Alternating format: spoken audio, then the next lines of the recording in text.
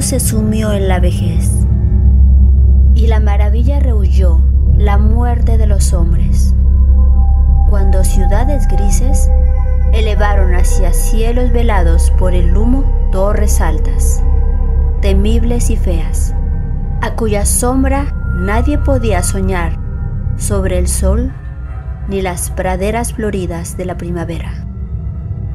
Cuando el conocimiento despojó a la tierra de su manto de belleza, y los poetas no cantaron, sino a distorsionados fantasmas, vistos a través de ojos cansados e introspectivos. Cuando tales cosas tuvieron lugar y los anhelos infantiles se hubieron esfumado para siempre. Hubo un hombre que empleó su vida en la búsqueda de los espacios hacia los que habían huido los sueños del mundo. Poco hay consignado sobre el nombre y procedencia de este hombre, ya que eso correspondía exclusivamente al mundo despierto, aunque se dice que ambos eran oscuros.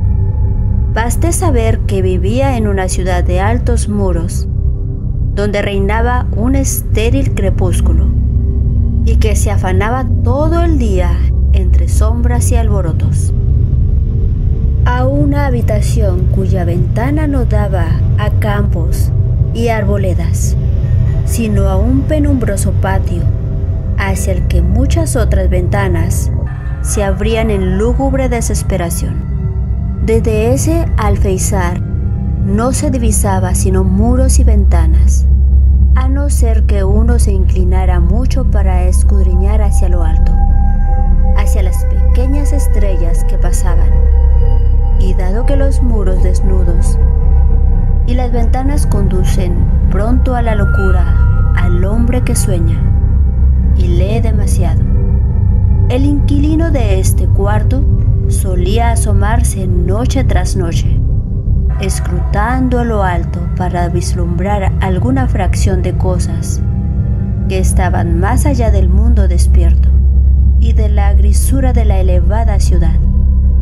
Con el paso de los años, fue conociendo a las estrellas de curso lento por su nombre y a seguirlas con la fantasía cuando, con pesar, se deslizaba fuera de su vista, hasta que al fin su mirada se abrió a la multitud de paisajes secretos cuya existencia no llega a sospechar el ojo mundano.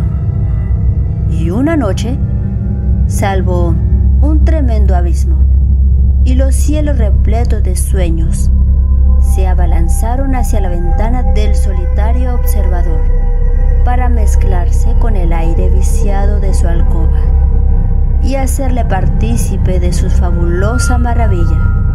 A ese cuarto llegaron extrañas corrientes de medianoches violentas, resplandeciendo con polvo de oro, torbellinos de oro y fuego, arremolinándose desde los más lejanos espacios cuajados con perfume de más allá de los mundos.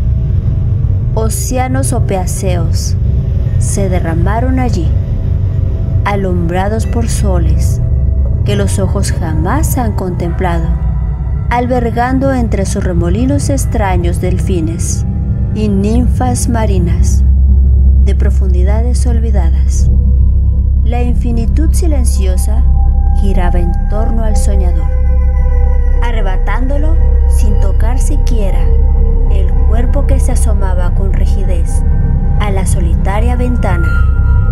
Y durante días no consignados por los calendarios del hombre, las mareas de las lejanas esferas lo transportaron gentiles a reunirse con los sueños por los que tanto había porfiado, los sueños que el hombre había perdido y en el transcurso de multitud de siglos, tiernamente lo dejaron durmiendo sobre una verde playa.